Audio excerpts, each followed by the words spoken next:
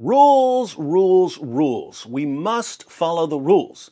When our leaders give us rules to follow, ours is not to reason why, ours is simply to obey. The only problem with obeying the rules is that I can't figure out what the rules are because they seem to change every five seconds. Take the chair of the House Committee on Double Standards, Congresswoman Ilhan Omar. As we all know, on September 11th, 2001, some people did something to someone in New York City. Sadly, some other people blamed certain people who weren't the people who did the thing. And so we ask Congresswoman Ilhan Omar, how should the people who get blamed by the other people, even though they're not the people who did the thing, respond when the other people blame them for the thing they didn't do? So to me, I say raise hell, make people uncomfortable. Because here's the truth. Here's the truth. Far too long, we have lived with the discomfort of being a second class citizen. And frankly, I'm tired of it, and every single Muslim in this country should be tired of it.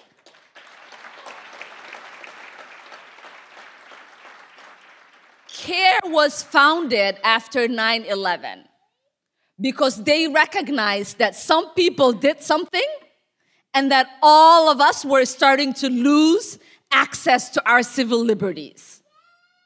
See, now we have a rule. When some people do something to someone, we shouldn't blame other people who didn't do the thing for doing the thing that the people who did do the thing did to someone we should only blame the people who did the thing to someone. That's the rule. These are our elected officials. Who are we to question their orders? All right.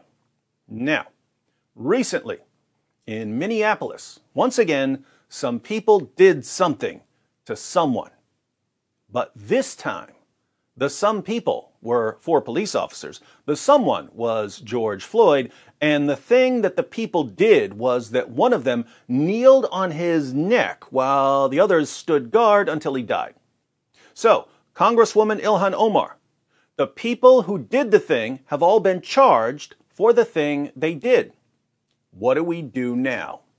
Not only do we need to disinvest for in police, but we need to completely dismantle the Minneapolis Police Department.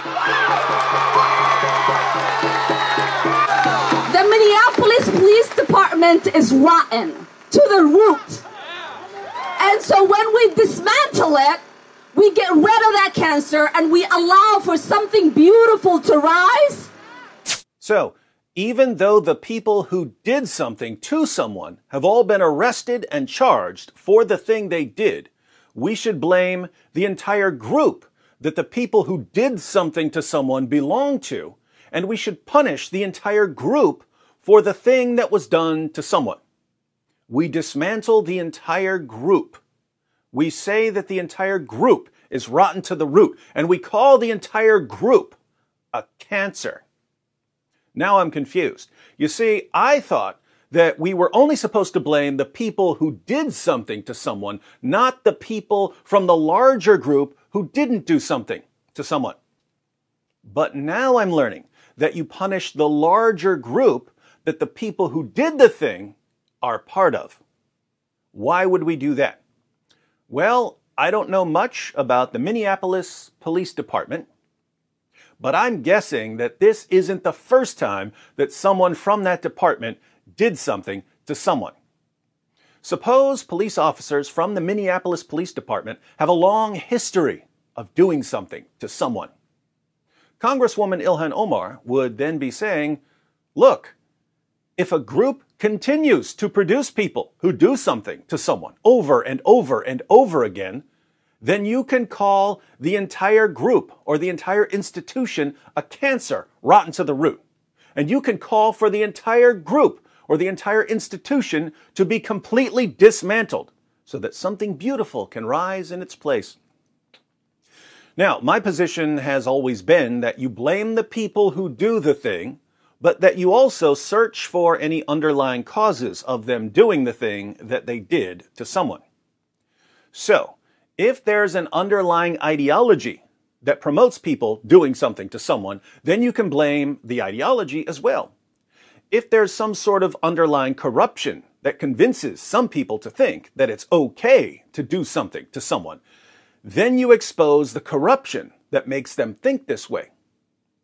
But now I'm learning that if a group or an institution just keeps producing people who do something to someone, then you can call the entire group or institution a cancer rotten to the root, and you can demand that the entire group or institution be completely dismantled in order to prevent the group or institution from continuing to produce people who do something to someone.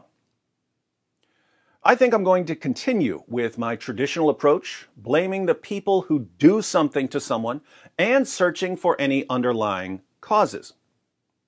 But for those of you who prefer Congresswoman Ilhan Omar's approach, can you think of any groups in the world who just keep producing people who do something to someone? Where the thing that they do might be terrorist attacks, honor killings, grooming young girls for gang rape, female genital mutilation, and so on? And that, my friends, is how you expose hypocrisy while being so incredibly vague in everything you say that the YouTube censorship squad isn't quite sure what they're banning you for. So vague, yet so clear.